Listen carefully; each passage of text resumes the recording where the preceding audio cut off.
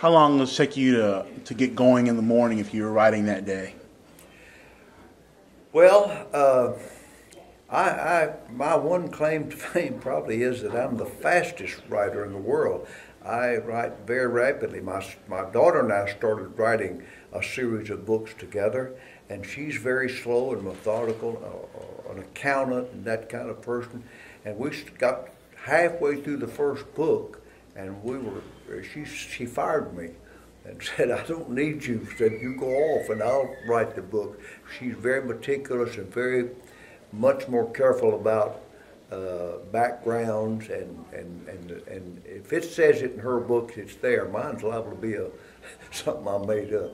But uh, uh, I write very fast. As, well, as a matter of fact, I dictate all my books on a tape recorder. And then I have a lady type them out, and she gives me the disc, and I can put them in and straighten them up. I'm a very slow, poor typist, but I can talk good. Now, when you are coming up with characters, uh, where does that inspiration come from?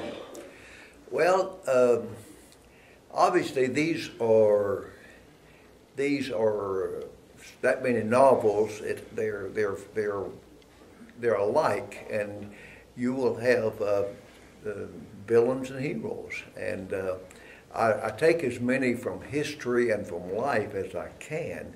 And when I write I'm, I'm writing now about George Washington, so I try to make George Washington in my book. I have him saying those things which it, are on record that he said, and uh, what kind of a man was he? I read half a dozen books. They don't all agree, so you have to make your own judgment. And then um, uh, I have met people that just are like characters in a book, and I don't have to make up anything. They're just had one that I call Uncle Seedy, that he, he was a southern man and he's a, a fox hunter and all of that, and I didn't have to do anything except write down what I knew about him. So, uh, that's the easy part. When it comes to coming up with the way to end a book, how do you know when it's time to wrap this one up and do another one? Well, I don't always, and you can tell by reading some of my books that I didn't know how to wrap it up very well.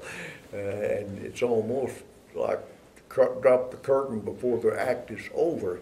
Very difficult. But what I do, I never start a book until I have a complete outline. And the outline may be 40 pages long. And I'll, in chapter one, this happens. In chapter two, these things happen. And, and put dates on them and so before I ever start a book, I have already made that decision, uh, how it's going to end. And uh, I don't know how other people do that. I had one lady tell me she writes Christian fiction, and she, I said, how do you get ready to write? I just sit down at a computer and start writing. Without planning, yes. And I read one of her books and I could believe it. Uh, uh, but I think you have to plan though. It's like a house. If you were going to build a house, you wouldn't just get out there and start driving nails and put. You would have a blueprint.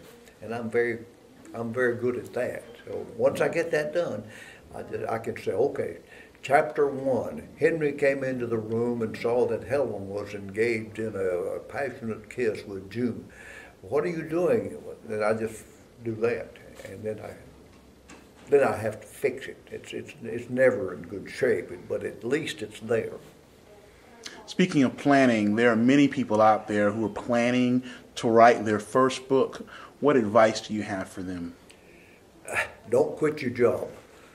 it's the first thing. It's hard to get into writing. It's a, it's a slow process, except for a few people like Margaret Mitchell and Gone with the Wind or John Grisham and the client.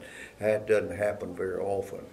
Um, Uh, it's the same way you learn to write, the same way you would learn to paint. You have to learn certain fundamentals about paint, about texture, about canvas, and I can't do it, but I know that unless you're a natural born genius like Mozart, perhaps, that just did it, you have to learn the fundamentals. And you, how do you learn to ride a bicycle? You learn to ride, or at least I learned to ride a bicycle by falling off and then getting up. and uh, trying it again. And you learn from your failures as well as your successes.